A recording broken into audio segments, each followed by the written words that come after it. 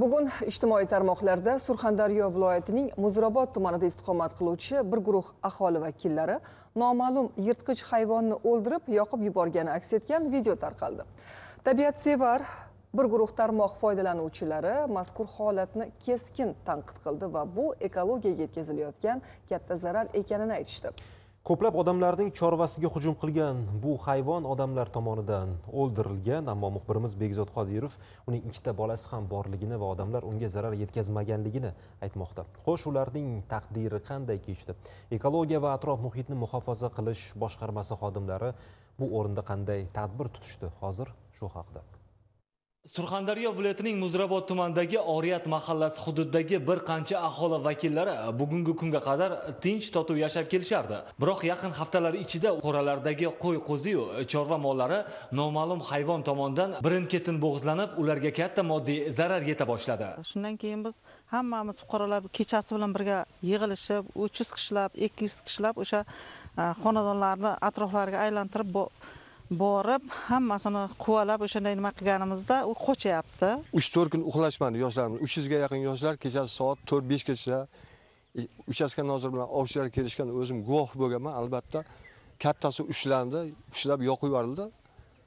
Yana ikkita ushlandi kecha xabar keldi. Darba mahallasidan ham kecha oltita qo'yni yarador qilib tashladi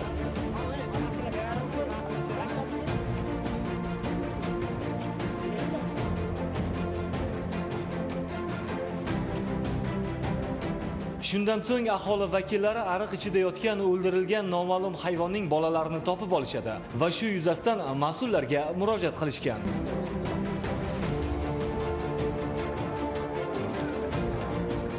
Shu oriyat mahallasi hududidagi shomurodov akbar fermer xo'jaligi dalasining chekkasida ikkita noma'lum hayvonning bolasi borligini to'g'risida murojaat tushgandan keyin biz e, hududning profilaktika inspektori mahalla fuqarolar yig'ini raisi bilan ko'pchilik bo'lib kelib noma'lum hayvonning bolalarini olib o'rgandik. Э, Ekologiya boshqarmasining э, bergan ma'lumotlarga qaraganda э, bu noma'lum hayvonning ayni damda mana bolalari ushlandi va o'zi ushlanmagan.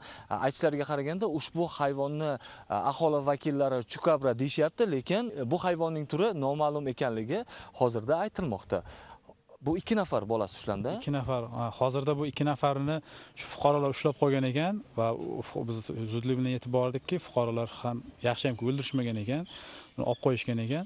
Hozirda shu ularni turini aniqlash maqsadida shu olib keldik. Sababiki bu balkim yangilik bo'lsa yangilik. Qanaqa hayvonligini aniqlashimiz kerakda baribir. Shu o'rinda yana bir eslatma. Agarda bizning viloyatlarimizda tuman shaharlarimizda shunaqa e, hayvonlar hujum qilayotgan bo'lsa fuqarolarimiz iltimos qilib qolardiki vahima ko'tarmasdan shu tuman ichki ishlarga yoki tuman ekologiya idoralariga borib shu murojaat qilishlarini va o'sha bilan birgalikda hamkorlikda shunaqa xavf xatarlarni oldini birgalikda olgan bo'lardik. Bekzod qodirov xolmat ne'matullayev zamon informatsion dasturi uchun surxondaryodan tayyorlandi